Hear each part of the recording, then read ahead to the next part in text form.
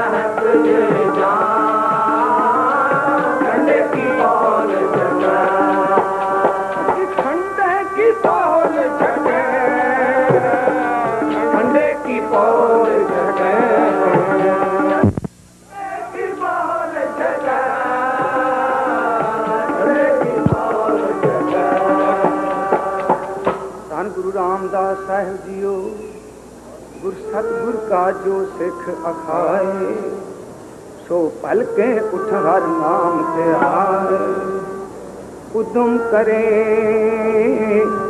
ਪਲ ਕੇ ਪ੍ਰਭਾਤੀ ਕਰੇ ਅੰਮ੍ਰਿਤ ਸਰਨ ਆਵੇ ਉਪਦੇਸ਼ ਗੁਰੂ ਹਰ ਹਰ ਜਪ ਜਾਪੈ ਸਭ ਕਿਲ ਵਿਖ ਪਾਪ ਦੋਖ ਲੈ ਜਾਵੇ। ਫਿਰ ਚੜੇ ਦਿਵਸ ਗੁਰਬਾਣੀ ਗਾਵੇ। ਫਿਰ ਚੜੇ ਦਿਵਸ ਗੁਰਬਾਣੀ ਗਾਵੇ। ਬੈਂਦਿਆਂ ਉੱਠਦਿਆਂ ਹਰ ਨਾਮ ਤੇ ਜੋ ਸਾਚ ਗਿਆਸ ਤੇ ਆਏ ਮੇਰਾ ਸੋ ਗੁਰ ਸਿੱਖ ਗੁਰੂ ਮਨ ਪਾਵੇ ਜਿਸਨੂੰ ਧਿਆਨ ਹੋਏ ਮੇਰਾ ਸੁਆਮੀ ਇਸ ਗੁਰ ਸਿੱਖ ਗੁਰੂ ਉਪਦੇਸ਼ ਸੁਣਾਵੇ। ਜਨ ਨਾਨਕ ਧੂੜ ਮੰਗੇ ਤਿਸ ਗੁਰ ਸਿੱਖੀ ਜੋ ਆਪ ਜਪੈ, ਹਵਰਾ ਨਾਮ ਜਪਾਵੇ। ਖਾਲਸਾ ਸੋਏ ਜੋ ਨਿੰਦਾ ਤਿਆਗਨ ਕੋ ਪਾਲੈ। ਖਾਲਸਾ ਸੋਏ ਦੁਸ਼ਟ ਕੋ ਗਾਲੈ। ਖਾਲਸਾ ਸੋਏ ਜੋ ਚੜੇ ਤੁਰੰਗ ਖਾਲਸਾ ਸੋਏ ਕਰੇ ਨਿਤ ਜੰਗ। ਕਥੂ ਰਹਿ। ਸੱਤੇ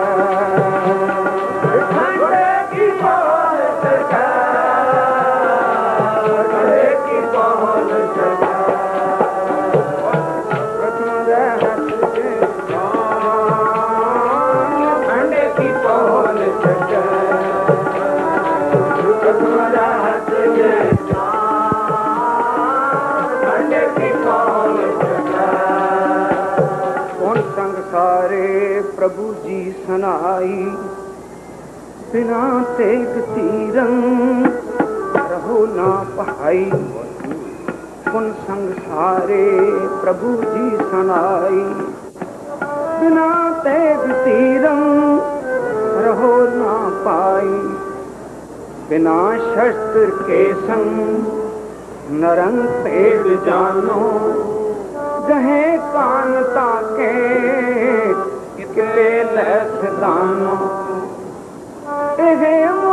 آڳيا